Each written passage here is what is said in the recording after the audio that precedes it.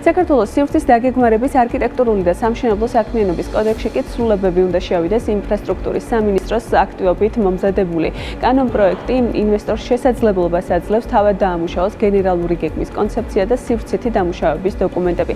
ასევე საინვესტიციო პროექტის განხორციელება შესაძლებელი ხდება ისეთ ტერიტორიებზე, რომელიც განაშენიანებული საერთოდ არ არის. ცვლილებათა პაკეტის მიხედვით კანონში განიმარტა საინვესტიციო პროექტის ცნება და ასეთად ჩაითვალა პროექტი, რომელიც ითვალისწინებს ტერიტორიის არას საცხოვრებელი ფუნქციით განვითარებას და ქმნის ადგილობრივი მოსახლეობის დასაქმების შესაძლებლობას. კანონმა უნდა განსაზღვროს ასეთი პროექტის მინიმალური ღირებულებაც.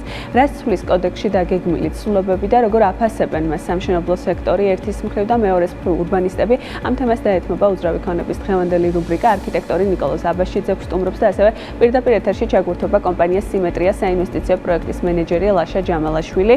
ბატონ ნიკოლოსთან დავიწყებ საუბარს. დილამშვიდობისა, მადლობა რომ ხართ ჩვენთან ერთად. პირველ რიგში პროექტში თქვენ როგორ აფასებთ ამ მომზადებულ ცვლილებათა პაკეტს? რეალურად რას ცვლის და რა ახალი კომპონენტი შემოაქვს რომელიც აქამდე არ იყო შესაძლებელი ინვესტორთან თანამშრომლობის შედეგად? პირველ რიგში ალბათ მაინც კიდევ დავიწყო რომ ეს კანონ პროექტი შემოვიდა სულ ახლა ხანს ანუ დეკემბრის ბოლოს და ახალი წელი დაიწყო აქეთ კავშირში არჩევნები ქონდა რაღაც პერიოდი ჯერ კიდევ ვერ ჩამოყალიბდით კომისიებად. ამიტომ ვერც მოვიცალეთ რომ გაგვეხილა თვითონ კანონი ცალკე და რაღაც ერთობლივი აზრი ქონოდა მაგრამ კალკულად ჩემს პირად შეხედულებებზე ვისაუბრებ. ანუ ახლა მეკავია განმარტებითი ბარათი ამ კანონის რომელსაც გავეცანი თვითონ კანონი და როგორც ნუ პირველი რაც უნდა ვთქვა და ალბათ ეს არ არის ახალი ჩვენ სულ ამბობთ რომ ქვეყანაში ძალიან გვიჭირს ურთიერთობა სახელმწიფო ორგანოებთან არქიტექტორებს, იმიტომ რომ ინსტიტუციები არის დარღვევა. ახლა ნუ შემოაქვს კანონ პროექტი ინფრასტრუქტურის განვითარების სამინისტრო, სადაც არის მხოლოდ და მხოლოდ ასე ვთქვათ, როგორც გააკეთეს თავის დროზე, რომ გამოყვეს ეკონომიკის სამინისტროდან სივრცული კომპონენტი. რომელმაც ესეც მხოლოდ და მხოლოდ უნდა სივრცულ საკითხზე მიიღოს გადაწყვეტილება და არა მეორე ნაწილზეც, რომელიც ამ კანონშია, რომელიც ვთქვათ, შეეხება მეორე კლასის ნაგებობებზე რაღაც გარკვეულ ცვლილებებს და სამშენებლო სანებართო ობიექტებზე მუშაობის პრინციპებს. ის ეკონომიკის სამინისტროში დარჩენილი არქიტექტურისა, სამსახურისა და საინჟინრო სამსახურის საქმეა. ეს ისინი უნდა აინიცირებდნენ ამ ნაწილს.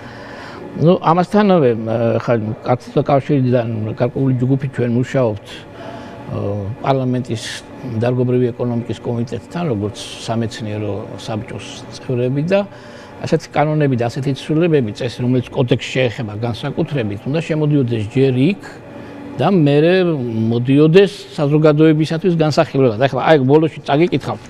არც ერთი ექსპერტი წერია კანონპროექტის შემუშავებაში მონაწილე ორგანიზაცია დაწესებულება სამუშაო ჯგუფის ექსპერტის შეფასება კანონპროექტის მიმართ ასეთი არსებობის შემთხვევაში. ასეთი არ არსებობს.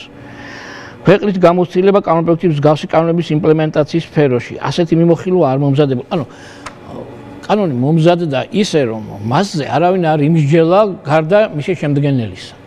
იმ რეალობ არ მოუდგენელი რამეა, ხო? რაც წერია, რაც დაშვებასაც ითვალისწინებს ინვესტორის მხრიდან გენგეგის მომზადებაზე, აქამდე რამდენადაც ვიცით ხდებოდა მუნიციპალიტეტთან თან ჩვენ გუშინაც ვისაუბრეთ ამ თემაზე, ასეთ შესაძლებლობა იყო, რა იცვლება რეალურად და რამდენად ხედავთ თქვენ урბანისტების არქიტექტორების ნაწილი საუბრობს რისკებზე, ქაოტურ განაშენიანებაზე, თქვენ თუ ხედავთ ასეთი რისკების დადგომის საშიშროებას? ხო, ახლა რაც შეეხება თვითონ ამ ინიციატივას. აა ახლა საქმე რაშია? ჩვენ სისტემა თლიანობაში, ვთქვათ, სიმცითი და გეგმარების სისტემა ორ საფეხურიანი გვაქვს.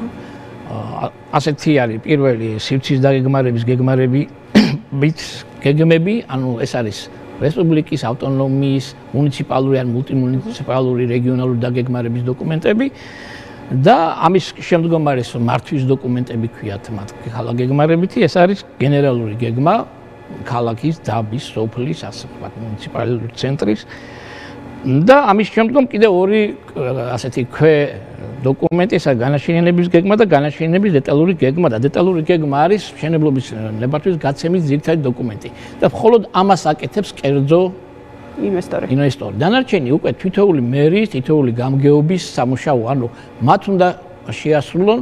და ეხლა გადაცემა ხდება განაშენიანების გეგმების უფლების დამუშავების კერძოა და რამდენად ხედავთ რისკებს, ან რა რისკებს ხედავთ? ძალიან მოკლედ მინდა. რისკები არის ძალიან დიდი ჩემი აზრით, იმიტომ რომ განაშენების გენერალური გეგმა და განაშენების გეგმა, იმიტომ ამ მე რიცხვს ჯერ ერთი ეს არის მცირე მასშტაბის შესაძლებელი დოკუმენტები, ანუ 1000-იანი ან 2000-იანი მასშტაბის დოკუმენტია, თქვა განაშენიანების გეგმა და ამის ინიციატორი გამოდის, გამოდიოდეს უნდა მერია და თვითონ უნდა საზღვრავდეს სად რა უნდა და არა კერძო ინვესტორი.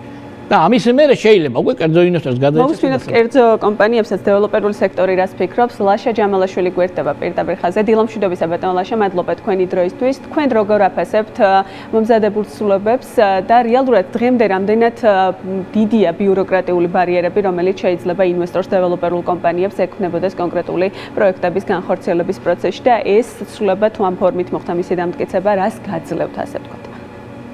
მოგესალმებით პროდუქცი მივესალმებით თქვენს ტელემაყურებელს. აა ასაღნიშნია ის ფაქტი, რომ ისეთი რთული საინვესტიციო კლიმატის პირობებში, როგორიც არის დღეს ჩვენ ქვეყანაში და არა μόνο ჩვენ ქვეყანაში, თავრობის მხრიდან გამოხატული ინიციატივა შექმნას დამატებით შესაძლებლობა ისეთი აქტივების განვითარების, რომელიც დღევანდელ დღემდე შეიძლება სულ დაყოფილიყო გამოყენებული ან აყოფილიყო იმ პროფილით გამოყენებული, რომელიც მისთვის საუკეთესო გამოყენება იქნებოდა. მისასალმებელი ინიციატივა არის ანუ არსებობდა მიწები, რომელიც რეალურად ან უკმად იყო, ან სასოფლო სამეურნეო დანიშნულებით გამოიყენებოდა. გამოიყენებოდა და სასურველია რომ ეს ეკონომიკური აქტივი იყოს ჩართული ეკონომიკაში და შესაბამისი პროფიტით იქნას გამოყენებული თუ შესაბამისი გამოყენება აიქნება რა თქმა უნდა.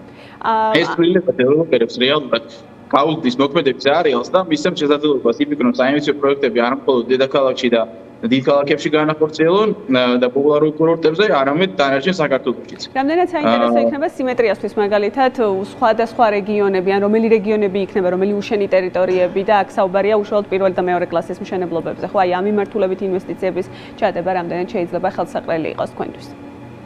აა სიმეტრია მოგეხსენებათ, რომ დაინტერესებულებს რეგიონებში სასაზღვრო პროექტების განვითარებით, ამის გარდა ყავს ისეთი ტიპის ინვესტორები, რომელიც კურორტის განვითარებით არის დაინტერესებული. ჩვენი პირდაპირ პროექტი არის შოვის კურორტის განვითარება, რომელიც ბოლო რამდენიმე წელია მუშაობს აქტიურად.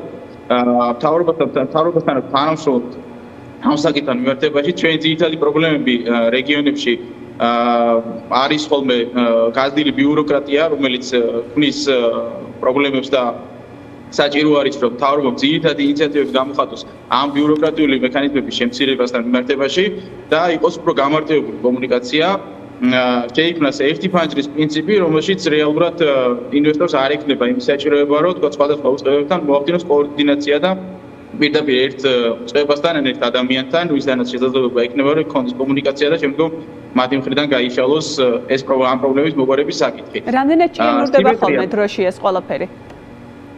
დოროში რეალურად დაახლოებით მაგალითად ბოლო პროექტის ნაწილში 3-4 წლის განმავლობაში მიმდინარეობდა გენერალური გეგმის შეთანხმება კონკრეტულად შოვის კურორტთან მიმართებაში. ჩვენი მხრიდან მოხდა ავსტრიელი პარტნიორების მოწვევა რომელმაც დაამუშავეს კურორტის განაშენების რეგულირების გეგმა.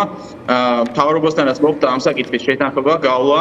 მათი მხრიდანაც მოხდა დამოუკიდებლად გენერალური გეგმის შემუშავება და რა თქმა უნდა დავაახლოვეთ ერთმანეთს ინტერესები, მაგრამ დაახლოებით 1 წელია მიმდინარეობს შეთანხმების პროცედურა.